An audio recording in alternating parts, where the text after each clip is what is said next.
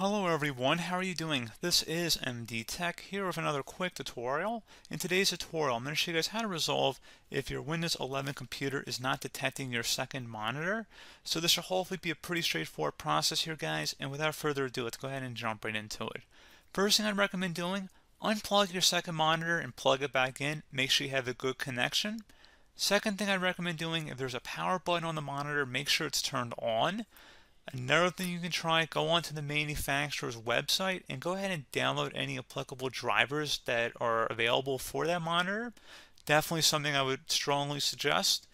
And then once you've exhausted those options, something else we can try here would be to right click on the start button and you want to select settings. Select system and then on the right side select display Go ahead and select multiple displays, choose the presentation mode for your displays, and then select says detect other display, select the detect button, and this should go ahead and detect if there are any other monitors connected to your computer. And make sure both of these options are check marked here as well. So remember Windows locations based on monitor connection as well as minimize windows when a monitor is disconnected. So pretty straightforward process there guys.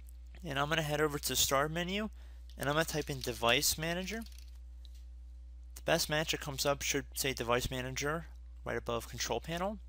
So you want to left click on that.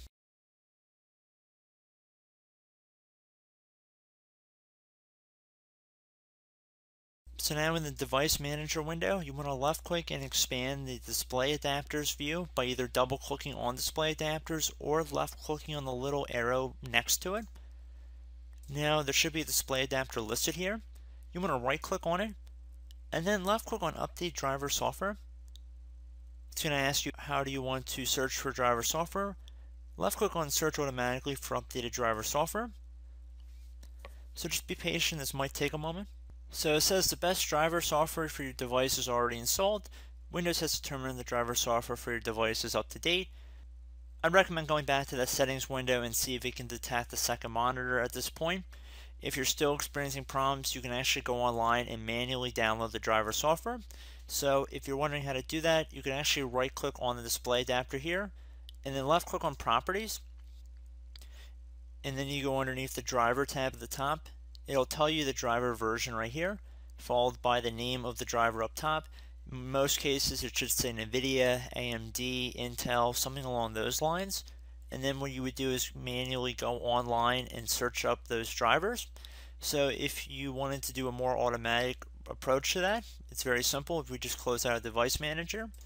So if you opened up any web browser here as if we were going to download driver software on our own, let's say we were going to try and download an AMD driver, and you would pretty much replicate this for whatever driver software you're looking for, but let's just say AMD is our company here.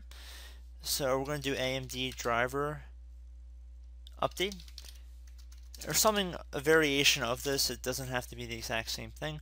So underneath download drivers on the Google page, we can see there's something that says AMD driver auto detect. You could probably also Google that as well, get directly to it. So we're going to actually open that up. And most of the big guys do have an automatic driver detection tool. So at this point, you would just left click on the download button right here. Keep in mind, you're not going to obviously download AMD drivers for NVIDIA graphic cards and same in reverse. So you want to make sure you're downloading the right drivers. And then at that point, I would recommend refreshing that tool. And if that doesn't resolve your problem, I would definitely recommend restarting your entire system. And then hopefully the second monitor should be detected at that point. So I hope this brief tutorial helped you guys out and I will catch you in the next video. Goodbye.